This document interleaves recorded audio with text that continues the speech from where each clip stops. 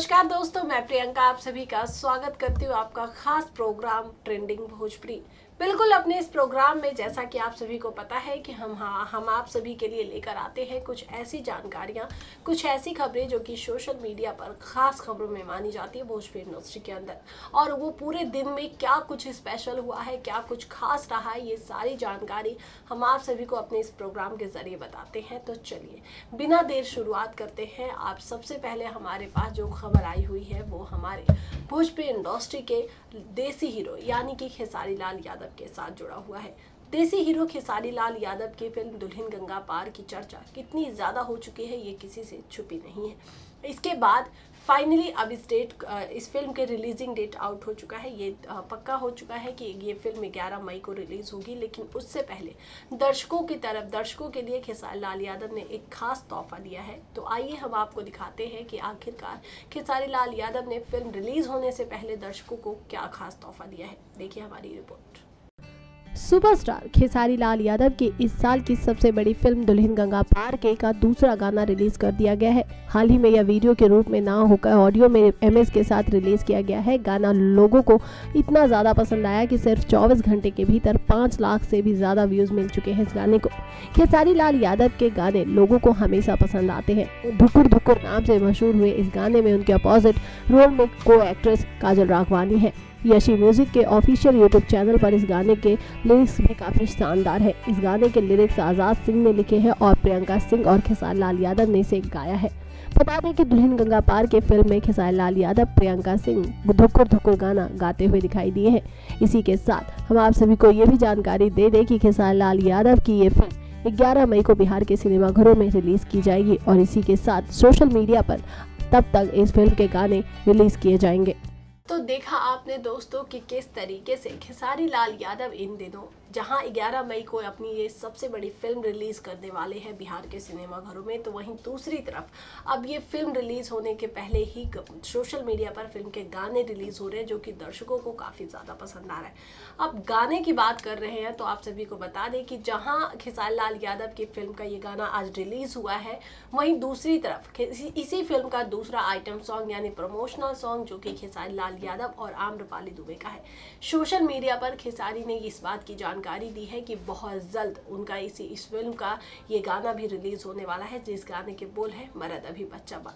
जी हाँ आम्रपाली के साथ खेसारी का पहली बार ऐसा स्टेज ऐसा सॉन्ग आने वाला है, ऐसा आइटम सॉन्ग आने वाला है, जो दर्शकों को काफ़ी समय से इंतज़ार है। दर्शकों के का खुद खेसारी और आम्रपाली को भी इस गाने का रिलीज़ होने का काफ़ी समय से इंतज़ार है। अब देखना यह है कि ये गाना जब रिलीज़ होता है, कब तक रिलीज़ होता है, क्योंकि खेसारी ने भी जानकारी दे दी है सोशल मीडिया के ज़रिए और आम्रपाली ने भी। लेकिन रिलीज़ कब तक होता है, ये दोनों में से किसी ने बताया नहीं है तो अब इतना इंतज़ार किया है तो कुछ समय और देखते हैं ये रिलीज़ कब होता है। लेकिन इससे पहले हम आपको बता दें कि आम्रपाली और खेसारी ने क्या कुछ कहा है इस गाने को लेकर। भोजपुरी सुपरस्टार खेसारी लाल यादव की फ़िल्म दुल्हन गंगा पार के का आइटम सॉन्ग का इंतज़ार हर किसी को था, क्योंकि इस गाने में पहली बार खेसारी लाल यादव के साथ भोजपुरी की लकी अदाकारा आम्रपाली दुबे नज़र आ रही थी। जी हाँ अमरपाली और खेसारी का गाना मरद अभी बच्चा बा, जो कि आज सोशल मीडिया पर रिलीज़ होने की जानकारी दी जा रही है। जी हाँ खेसारी ने अपने सोशल मीडिया के ज़रिए दर्शकों को ये जानकारी दी है और आम्रपाली ने भी अपने इंस्टा पर खेसारी के साथ की अपनी फ़ोटो शेयर करते हुए कैप्शन बॉक्स में लिखा है, कमिंग सोन। खैर, आप सभी को बता दें कि आज खेसारी के इस फ़िल्म का एक गाना रिलीज़ किया जा रहा है, जिस गाने को कुछ ही घंटों में सात लाख से भी ज़्यादा व्यूज़ मिल चुके हैं और एक खेसारी की तरफ़ से इस गाने के रिलीज़ होने के बाद कही जा रही है, जिसके लिए खेसारी इस गाने को अब तक सात लाख लोगों ने देखा है, जिस गाने के बोल है, धुकुर धुकुर। आपकी जानकारी के लिए बता दें कि 11 मई को बिहार के सिनेमा घरों में ये फ़िल्म भी रिलीज़ कर दी जाएगी। इस बात की जानकारी इस बार फ़िल्म के निर्देशक और निर्माता ने दी है, ऐसी खबर आई है। यानी कि बहुत जल्द दर्शकों का इंतज़ार खत्म होने वाला है। तो देखा आपने दोस्तों कि किस तरीके से काजल राग इस समय हमारे आम्रपाली दुबे काफ़ी ज़्यादा अपने गानों को अलग अलग गाने को लेकर काफ़ी ज़्यादा चर्चाओं में है, लेकिन इस बार खेसारी और आम्रपाली का नाम एक साथ जुड़ चुका है। अब बढ़ते हैं अगली खबर की ओर। हमारे पास जो अगली खबर है, वो हमारी भोजपुरी इंडस्ट्री की लैला, यानी कि काजल राघवानी के साथ जुड़ा हुआ है, जहाँ इन दिनों खेसारी अपनी फ़िल्म और आम्रपाली अपने आइटम सॉन्ग को लेकर बिज़ी चल रही है तो वहीं काजल राघवानी का आज सोशल मीडिया पर एक फ़ोटो वायरल हुआ है, जिसे लेकर खबरें काफ़ी तेज़ी से बढ़ गई हैं कि काजल राघवानी का जो फ़िल्म से सेट सेट से फ़ोटो आया है, वो उसमें काफ़ी ज़्यादा उदास नज़र आ रही हैं, लेकिन ऐसा क्या हो गया? ऐसा क्या हो गया जिसकी वजह से काजल राघवानी फ़िल्म के सेट पर ही उदास हो गई है? क्या बात हुआ है? कहीं कोई फ़िल्म का ये जो जानकारी दी जा रही है, वो फ़िल्म से जुड़ी है, ये रील है, या रियल है, ये तो खैर हम आपको खबर में बताएँगे ही, लेकिन काजल का इस फ़िल्म जो इस समय पर उनके फ़िल्म मैंने उनको सजन चुलिया की शूटिंग कर रही हैं, उस उस ज़रिए वहाँ से, उस फ़िल्म के सेट से ये फ़ोटो आई है, जो हम आपको बताने वाले हैं कि आखिरकार ऐसा क्यों हुआ है। देखिए हमारी रिपोर्ट इन दिनों उत्तराखंड और देहरादून में एक बहुत ही दिलचस्प फ़िल्म की शूटिंग हो रही है। बड़े जोरों शोरों से। अब आप सोच रहे होंगे कि क्यों हम इस फ़िल्म को दिलचस्प कह रहे हैं? तो जानकारी के लिए बता दें कि इस फ़िल्म में काफ़ी समय के बाद काजल राघवानी खेसारी के अलावा किसी और सुपरस्टार के साथ नज़र आने वाली हैं। इसलिए दर्शकों की नज़रें ना सिर्फ़ इस फ़िल्म पर बनी हैं, बल्कि इस फ़िल्म से जुड़ी काफ़ी सारी तस्वीरें भी देखने को मिल रही हैं, जिससे दर्शकों में कौतूहल मचा हुआ है। काजल की खूबसूरती सभी का दिल चुरा रही है। हाल ही में फ़िल्म के सेट से काजल की एक तस्वीर सामने आई, जिसमें काजल बड़े ध्यान से स्क्रिप्ट देखती और पढ़ती और समझती नज़र आई। लेकिन तस्वीर में उनके एक्सप्रेशन ऐसे थे, जैसे कि वो रो रही हों। लेकिन आप इस तस्वीर में उन्हें रोता हुआ मत समझ लीजिएगा, क्योंकि काजल रो नहीं रही, बल्कि सीरियस मूड में दिखाई दी है। वो बात अलग है कि काजल हमेशा खेसारी के साथ सेट पर खिली खिली आपको नज़र आती थी और आजकल मैंने उनको सदन चुन लिया के सेट पर काजल हमेशा थोड़ी सीरियस नज़र आने लगी है। तो देखा आपने दोस्तों कि किस तरीके से इस समय पर काजल राघवानी और खेसारी लाल यादव दोनों ही अपनी अपनी फ़िल्मों को लेकर काफ़ी ज़्यादा बिज़ी चल रहे हैं। दोनों ही भले ही इस समय पर अलग अलग काम कर रहे हैं, लेकिन चर्चाओं में दोनों एक साथ ही बने हुए हैं। हम बढ़ते हैं अगली खबर की ओर। जी हाँ हमारी अगली खबर है नई फ़िल्म से जुड़ी हुई। आप सभी को याद होगा बॉलीवुड में फ़िल्म आई थी चैंपियन।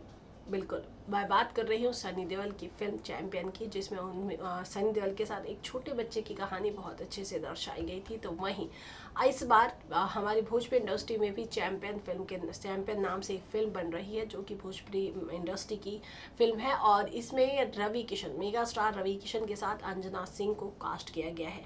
इस फ़िल्म की शूटिंग शुरू हो गई है, आखिर और कौन कौन से स्टार हैं जिन्होंने इस फ़िल्म में अपना काम दिया है, इस फ़िल्म में उन्हें कास्ट किया गया है, और फ़िल्म की शूटिंग किस कदर से हो रही है, हम आपको बताएँगे अपनी रिपोर्ट में। तो चलिए शुरुआत करते हैं, देखिए हमारी रिपोर्ट। भोजपुरी के मेगा स्टार रवि किशन और अंजना सिंह की नई फ़िल्म, चैंपियन की शूटिंग की शुरुआत हो चुकी है।